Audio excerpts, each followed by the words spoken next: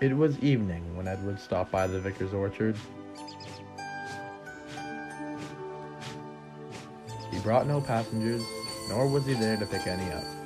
Instead, he stood and watched happily as the traction engine paced through the trees. The engine was Trevor, whom Edward had saved from scrapped weeks prior. He was overjoyed about his new home, and he told Edward just that. The vicar has me scheduled for rides all week. I'm feeling worn out in all the right ways again. Oh, there'll be more to come, don't you worry. Trevor's face grew somber as he reflected. As every day passed in the yard, I felt my parts grow weaker, and my chance of being bought seemed to become smaller. But I don't fear that anymore, he said, smiling once again. Now, growing weak means repairs, not scrap. I understand, agreed Edward. I owe everything to the Fat Director for giving me another chance to work hard again, but his voice trailed off. But what? The Fat Director doesn't own the railway. It's the Fat Controller now. I only hope he sees the railway as the director did. I'm sure he will, assured Trevor.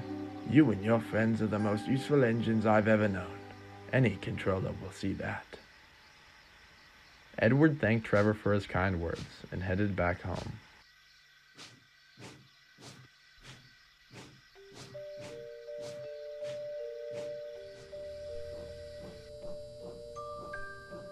Stopped at Wellsworth, where the new controller stood on the platform. Edward, he began softly, there is a train bound for the smelter's yard, and I need you to take it. Of course, sir, Edward replied, but Sir Topham Hatt wasn't finished. He started, angrily. There was a delay further down the line. I tried to have this train in before nightfall, and I made sure it was nothing more than decommissioned lorries and scrap metal. Edward squinted and thought. It's no problem, sir. I've taken this train for a while now. And I am sorry for that. From now on, I will arrange for an engine on the other railway to take this goods, giving you a much needed rest. Edward was now lost. Despite this, he thanked the Fat Controller, and after one last apology, he climbed in his car and left.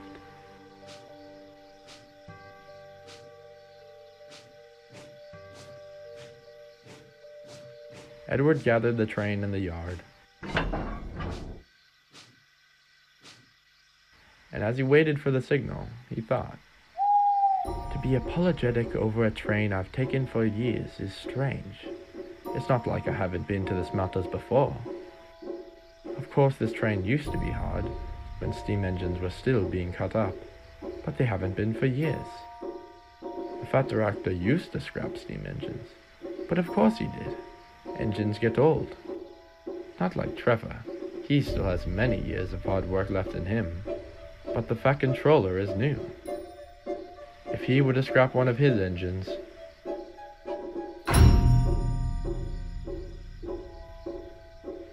it would be me.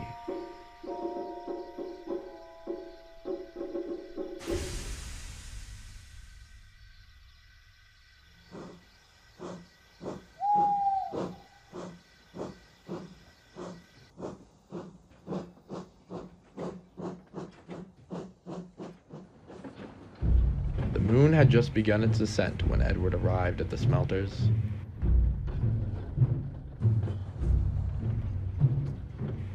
He plowed into the heat, eyeing the valley of scrap around him. The thoughts in his smokebox mirrored the foreboding atmosphere of the shed.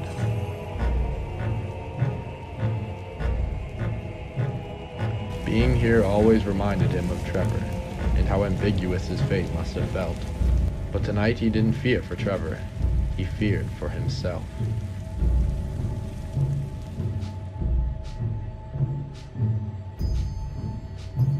Edward stopped just before the smelter's entrance.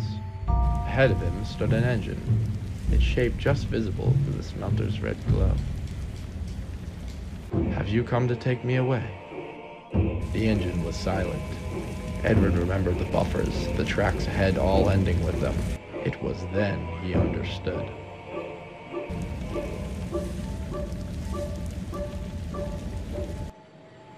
So you have come for me.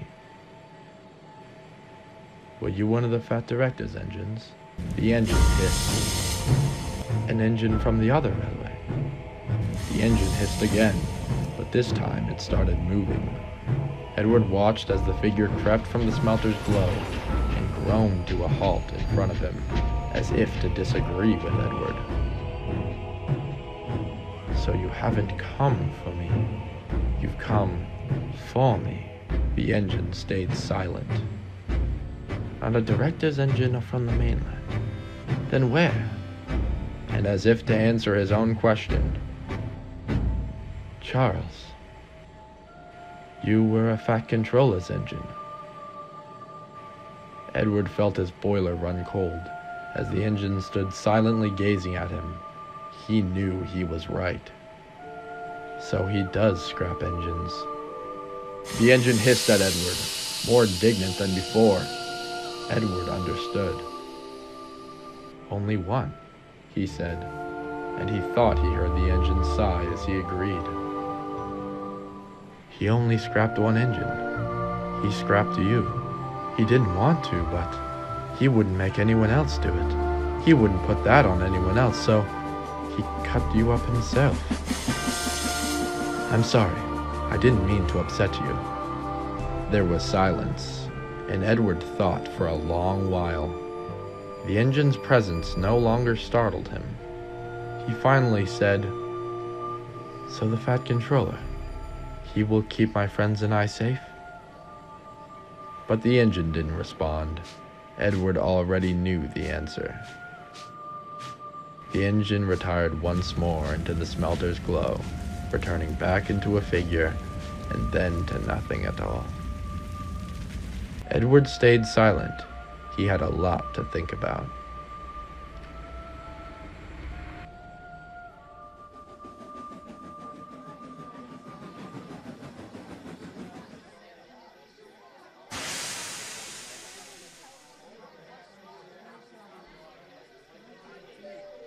He still thinks about that night, about the engine and what he was told. Although he doesn't fear the smelters, he understands the controller's decision to withdraw him from the smelters train.